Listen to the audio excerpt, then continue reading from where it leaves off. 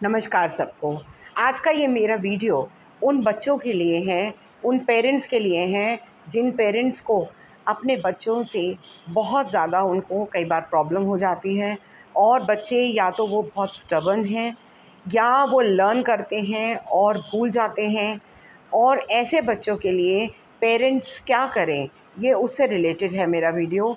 देखिए, जो भी मैं आपको टिप्स दे रही हूँ, एज अ टीचर मेरा फोर्टी ईयर्स का एक्सपीरियंस है एज अ पेरेंट ऑल्सो तो first of all is that try to understand your child आप अपने बच्चे को समझने की पूरी कोशिश करिए कि बच्चा जो है वो आपका कैसा है और वो क्या कर, कहना चाहता है वो आपका बच्चा।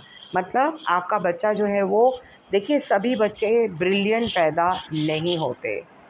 हर बच्चे की अपनी कैपेबिलिटीज़ होती हैं और हर बच्चे की अपनी शॉर्ट कमिंग्स होती हैं। तो सबसे पहले try to understand your child और उसके अकॉर्डिंग आप अपनी मेथडोलॉजी जो है वो प्लान करिए। फॉर एग्ज़ाम्पल अगर बच्चा बहुत जल्दी फास्ट लर्नर नहीं है तो आप क्या करें? फास्ट लर्नर का मतलब ये नहीं है कि स्लो लर्नर है। फास्ट लर्नर का मतलब ये है कि बहुत बड़े बड़े आंसर्स नहीं मगअप कर सकता।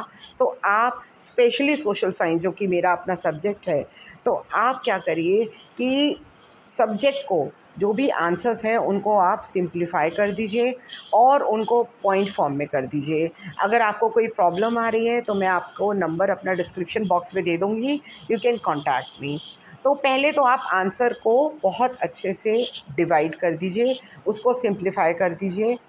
सेकेंडली आप बच्चे का अपना नॉर्मल रूटीन में भी प्लीज़ अपने बच्चे का टाइम शेड्यूल ज़रूर बनाइए। नॉर्मल रूटीन में। एग्ज़ाम में तो देखिए आप जो डेट शीट है उसके अकॉर्डिंग चलेंगे। लेकिन अपने बच्चे का टाइम शेड्यूल ज़रूर बनाइए। और मैं ये बोल रही हूँ जो वो प्राइमरी और मिडिल लेवल तक के बच्चों को कैटर करने के लिए बोल रही हूँ। और उस टाइम फ्रेम के अकॉर्डिंग थोड़ा सा फ्लेक्सिबल करते हुए बच्चे को उस अकॉर्डिंग उसकी आदत डालिए। Number point number three is कि बच्चे को कोशिश करिए रिटर्न प्रैक्टिस दें।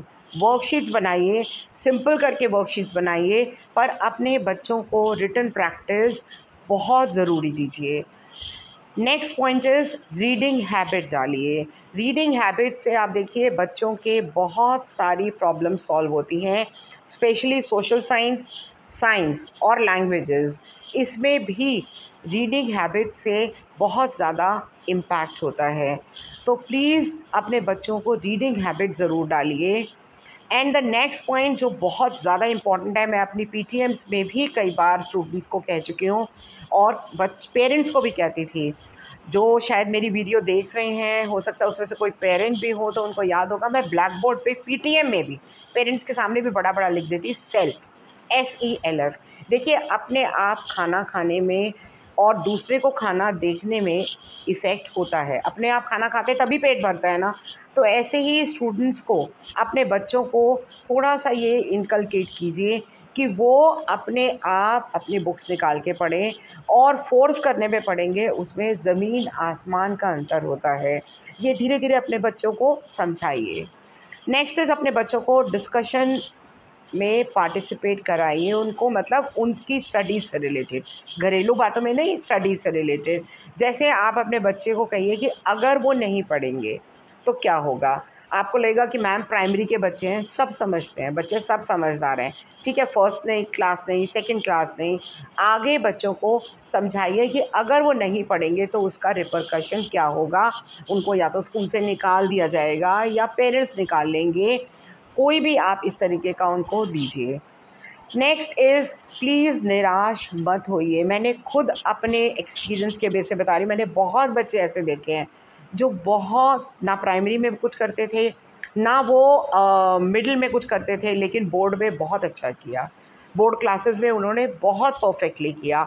और आगे इस समय कोई विदेशों में या अपने देश में बहुत अच्छे से वो सेटल्ड हैं। डोंट गो ऑन मार्क्स धीरे धीरे करके आप देखिए, आप बच्चे को अपने मोटिवेट करिए। और निराश मत होइए, जैसे आपने मेहनत करी, बच्चा नहीं कर रहा है। टेस्ट में नहीं करके आया, एक टेस्ट में नहीं करा, दूसरे में नहीं करा अल्टीमेटली मैं आपको बता रही हूँ गारंटी के साथ कह रही हूँ कि बच्चा आपका ज़रूर करेगा। By end of the day आपकी मेहनत ज़रूर रंग लाएगी कभी ना कभी ज़रूर रंग लाएगी निराश मत होइए। एंड प्लीज़ एंग्री भी मत होइए गुस्सा मत करिए अपने बच्चे के ऊपर। आता है गुस्सा, ये भी मैं मानती हूँ। ऐसा नहीं है कि मैं एज अ पेरेंट अपने बच्चों के ऊपर मैंने गुस्सा नहीं किया, गुस्सा भी किया है। मैंने भी कई बार गुस्से में हाथ भी उठाया है, पर फिर भी मैं आपको ये कह रही हूँ कि ये मत करिए। वो टाइम और था, आज का टाइम और है। नेगेटिविटी हो जाती है और गुस्से में आकर बच्चा और ज़्यादा स्टबन हो जाएगा। तो प्लीज़ उस बच्चे के ऊपर आप गुस्सा मत करिए, क्योंकि आप गुस्सा करेंगे, निराश होंगे, वो जो चीज़ है, वो उसको भी पास ऑन होगी। उसको मोटिवेट ज़रूर करिए। Don't compare your child with anyone anyone means anyone अपने बच्चे को किसी से भी प्लीज़ कंपेयर नहीं करिए।